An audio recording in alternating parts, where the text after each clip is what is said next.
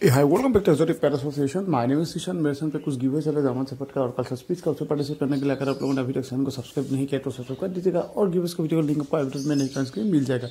और दोस्तों, अभी आप लोग ये जो पिटबुल की फीमेल पिटबुल की डॉग की वीडियो दिख रही है, ये अवेलेबल है अमृतसर, पंजाब में और ऑल ओवर